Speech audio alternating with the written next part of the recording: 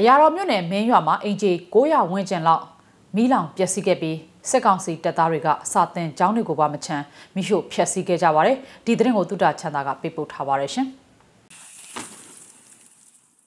စကိုင်းတိုင်းအရာတော်မြို့နယ်ကိုဖေဖော်ဝါရီ22ရက်နေ့မှာစေအုပ်ချုပ်ရေးကြီးညာပြီးနောက်မင်းရွာမလဲတာနဲ့ကန်ရင်စတဲ့ရွာတွေကိုစစ်ကောင်စီတပ်ကဖေဖော်ဝါရီ22နဲ့23ရက်နေ့တွေမှာလေကြောင်းသုံးတိုက်ခိုက်ခဲ့တာပါ ဖေဖော်ဝါရီ25ရက်နေ့မှာမင်းရွာကနေစစ်ကောင်စီတပ်တွေပြန်လည်ထွက်ခွာသွားပြီးအင်ဂျီ900ဝန်းကျင်မီးရှို့ဖျက်ဆီးခံခဲ့ရတယ်လို့ဒေသခံကာကွယ်ရေးအဖွဲ့ကောင်ဆောင်ကပြောပါတယ်ခုလောတဲ့နင်းမိုင်းလို့ယူဆတဲ့ຢာတခုတွေ့နေတယ်တားမရှင်းသေးဘူးပေါ့ဗျာရှင်ကြီးကစစ်ကောင်စီတော့ထွက်သွားပြီကနဦးသတင်းကတော့အင်ဂျီကကမန်းကြီးကွက်ကြားနဲ့အစုံဖျားကျန်မယ်ဆို100လောက်ပဲကျန်မယ်ကျွန်တော်တို့ရောအင်ဂျီ1000လောက်ရှိရကြအဲ့ဟာအရင်တစ်ချီဝင်တော့130ကျော်ပါပြီလားဒါပေမဲ့အဲ့130ကျော်ပါတဲ့အိမ်ကြီးကတော်တော်များများတော့ဒီပြန်ဆောက်ပြီးနေကြတာအဲ့ပြန်ဆောက်တဲ့လူတွေလည်းကုန်ပြန်ပါအဲ့လိုဖြစ်ရသားလူတွေလောင်းကျွန်တော်ရဲ့အကူတဝမ်းခွဲကြမှာပဲသူကမျိုးသမီးနဲ့ကွယ်ပြီးရထုတ်လုံးလုံးဖြစ်သွားသူကအဲ့အဲ့အောင်ရွာနဲ့အဝေးကြီးမှမရှောင်မဲနဲ့အဲ့လိုမျိုးဟောရွာအဆက်ဘက်တဲမှာသူမိသွားဖို့ရပါတယ်ပြစ်သက်ထားခဲ့တာသူတို့အထွက်မှာအိမ်တွေထဲမှာတော့လောလောကျွန်တော်မစီစေရဘူးပြတရွာလုံးနီးနီးပြဖြစ်နေဆိုနင်းမိုင်းဆိုအထက်ကိုမြေမြုံမိုင်းသဘောမျိုးလိုယူဆလို့ရတာပေါ့အလောင်းရဲ့မလန်မကန်မှတွေ့ရပြနောက်တစ်ထူးခြားတာကကျွန်တော်တို့စာပင်ကျောင်းပေါ့နော်အထက်ကတင်မင်းပါအဲကျောင်းဆောင်ကိုရှုသွားတယ်သူတို့ကျောင်းဆောင်တစ်ကြီးလုံးဝလှူရှင်တူးတဲ့လှူရှင်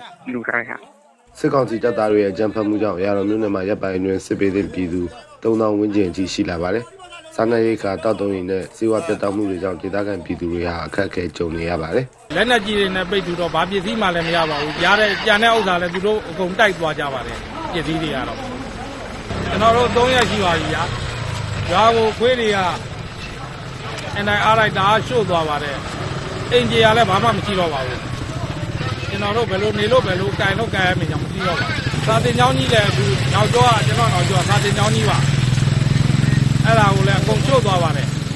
စကိုင်းတိုင်းမှာအရာတော်ရွှေဘိုဝက်လက်3မြို့နယ်ကိုစေအုပ်ချုပ်ရေးထပ်တိုးလိုက်တဲ့အတွက်စကိုင်းတိုင်း38မြို့နယ်မှာ14မြို့နယ်အထိစေအုပ်ချုပ်ရေးကြီးညာခံထားရတာဖြစ်ပါတယ်စစ်ကောင်စီရဲ့တပ်ဖက်မိရှုမှုကြောင့်2021မေလကနေ2023ဇန်နဝါရီလကုန်အထိ